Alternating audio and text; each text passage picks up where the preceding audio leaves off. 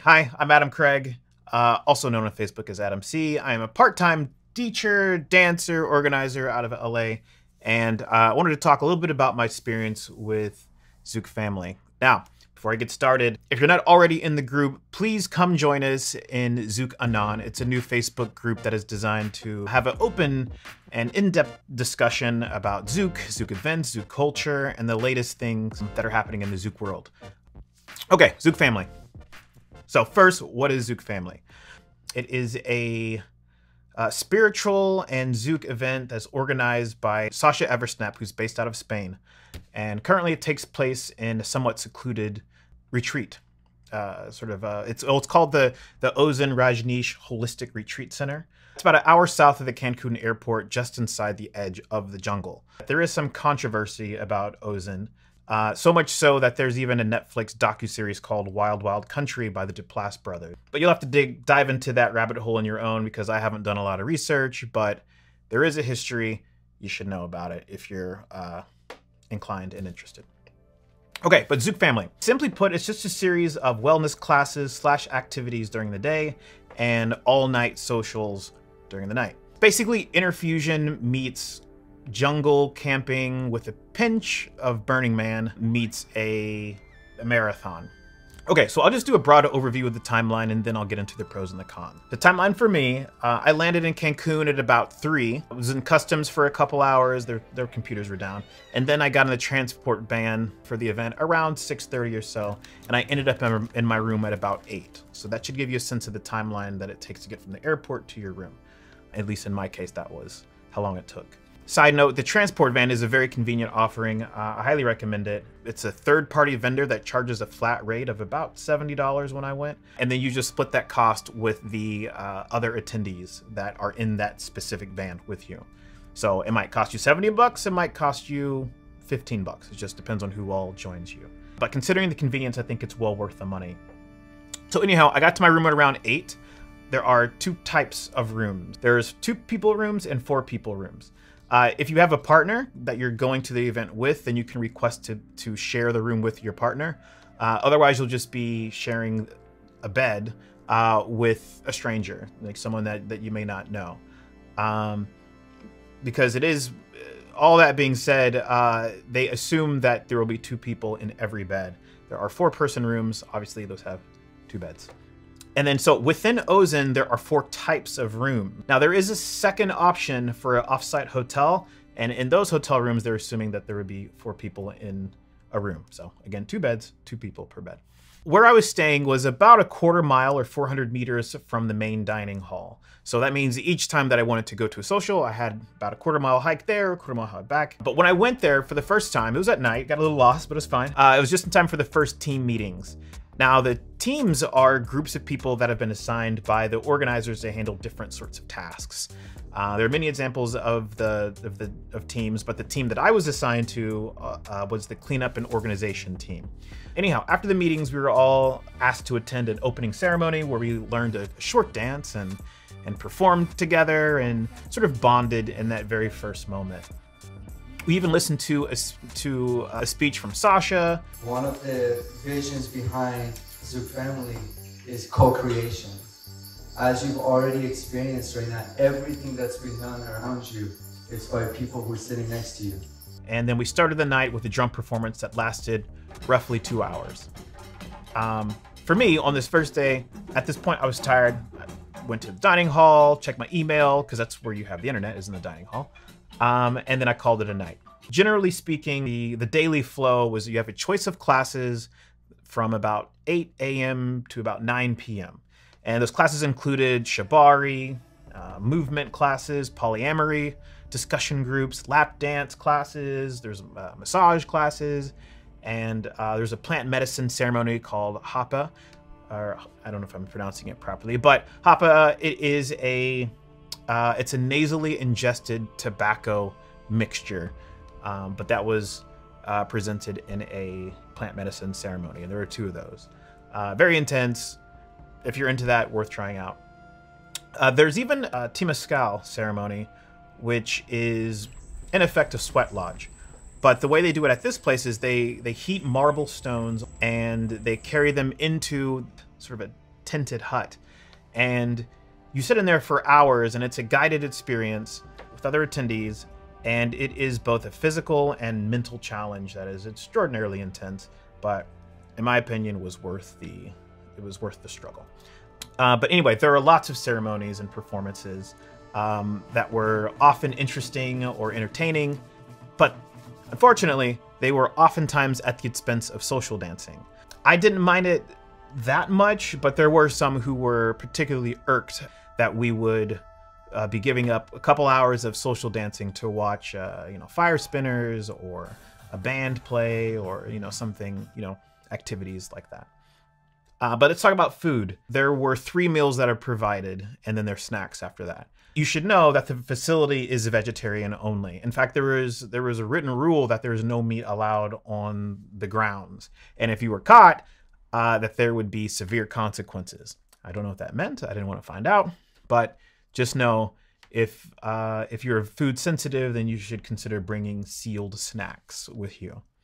Now, the reason why I say sealed is because uh, if it's not sealed, the ant will find it. But anyway, the, the food to me was it was good. And if there was something that came out that was not particularly appetizing for me, there was usually some salt and pepper or hot sauce or some something to kind of doctor it up to make it taste better to me. But I'm not particularly food sensitive, so if you are, that's something to be mindful of.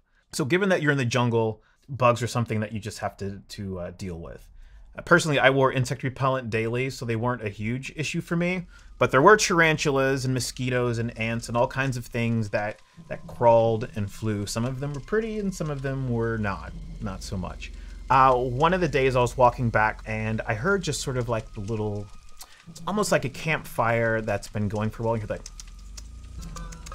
and then uh, and I looked at this big pile of leaves, and it turns out it was covered in ants. And so I was just fascinated, kind of watching it for a second. And then, like with my phone, I kind of followed where they were, and then lo and behold, they were on my legs. And so I had to like brush them off real quick. Fortunately, I didn't get bitten or anything. I just brushed them off, and I was now it's fine. One of my friends did get bit by ants, and uh, it was not a pleasant experience. Now, some people have asked me about the tea right? Like, like, okay, what's the real deal? What really happens out there? And I'll say, for me, uh, it was a mixed experience. There's definitely some pros and some cons. Uh, and I'll, I'll, kind of cycle between the two so it doesn't seem too overly positive or overly negative. So let's start with a, with a pro. Because it's invite only, there were a tremendous amount of experienced dancers that made for great dances were very easy to, to get. Like just the hit rate was incredible. Lots of great dancers. Well, you can't beat that. That's I mean that's why we're all there. One of the cons, and this actually kind of seeped through a lot of different layers, which is the sort of VIP sort of aura of um, of much of the event. Like like there like there's definitely like classes of people. Uh, and then if you're VIP, you're in one class, and if you're not VIP, then you're in a lower class. And then sometimes you can be even lower than that, depending on your social your social structure.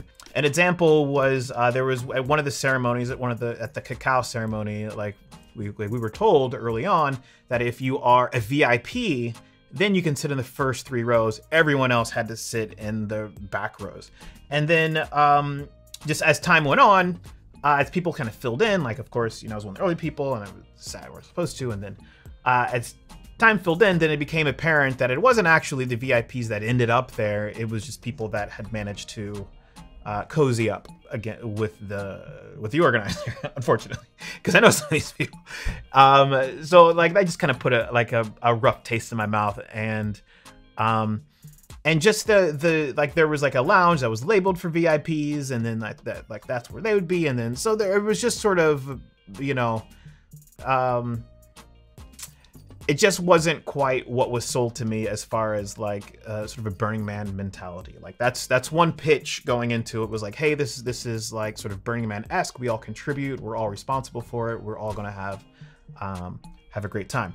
Well, I've been to Burning Man. I've been to a couple burns, and they are. Um, this was very different because there's a their concept at Burning Man that is like radical inclusion like no one's no one's sort of voyeur like you're you're you're engaged in all of the things at all the times there's not this like super like hierarchy sort of thing so like the sort of red velvet sort of vip thing just rubbed me the wrong way. It was not something that I particularly enjoyed, though. I think I'm maybe I'm just more sensitive to it than others, so maybe that would not be a big deal for you. Okay, let's talk about a pro.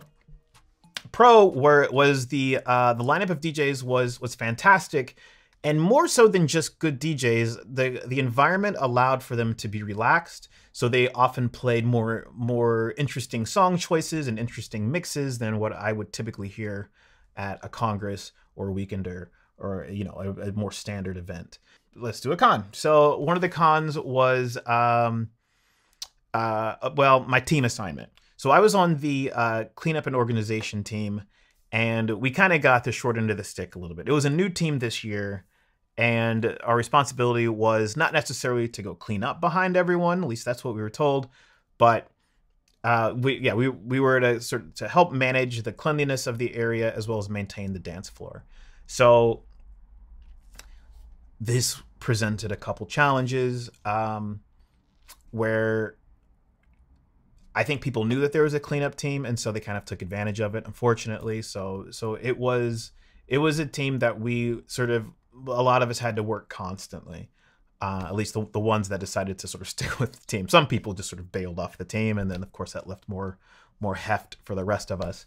Okay, so in one of the main halls, it is called the Buddha Hall, and it it has a vinyl roof over the top of it. Well, during a social, there are a lot of people moving around and they're generating heat. The heat rose to the ceiling, it condensates up there, and then it rains, drops water on the inside of this structure. And it was our team's responsibility to like go around and mop up the floors. And of course, it's difficult to see, so you're sort of have this tricky task of finding invisible puddles in the middle of people dancing and hit it with towels and squeegees, but not disturb people. It was a whole thing. Um, it was definitely a challenge, and uh, we just got the short end of the stick. It was it was a rough team to be on, and it very much colored the experience because I think all in all, I paid about two thousand dollars to go to this, and I was not intending to spend you know thirty hours um, with a squeegee and a mop or a towel or a or whatever, like in my hand cleaning up behind people and like, you know, dealing with all that. A pro uh, is the facility itself is beautiful. I mean, it really is remarkable. Like the in the main hall I was just talking about, it's a big white marble floor. I don't know how many square feet it is, but it is huge. It's I mean, it's the size of like a hotel conference, like a opened up hotel conference room. It's huge marble, beautiful and then there are many different uh, sort of areas that are also just equally beautiful. Uh, so that is just a, a, pretty place. And a matter of fact, many of the videos that you might see from there are in various areas around the, the grounds. So that is also very nice. Um, okay, a con. Um, this is a pro and a con. So uh, one of the pros is that they there were often surprises that were planned for everyone. So some of these surprises included uh, surprise performance or a uh, there was a night where there was there was a pinata. Um, so this was a great surprise for for the attendees, unless you were on the cleanup team, because many of these surprises generated huge amount of uh, of waste that uh, that we had to clean up.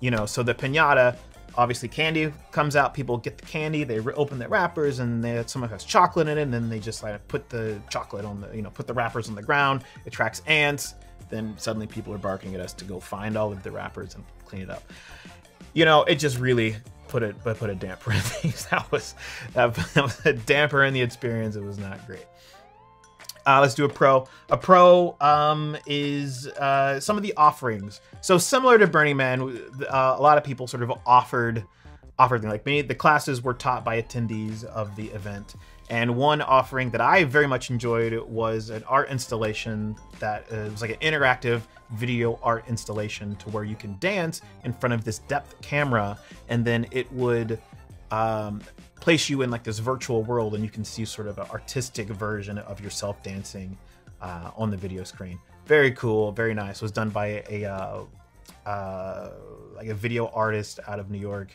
It's fantastic. I really enjoyed that a lot. So one of the cons that uh, a lot of people had to deal with were, uh, and I heard a lot about, and I felt a little bit of it, but I think some people got the brunt of it, were clicks in our in our Zouk scene, obviously we have a tendency to generate clicks because we a lot of us travel with one another or we'll see each other in multiple cities, but not everyone can go everywhere, and so there tends to create a situation of the haves and have-nots.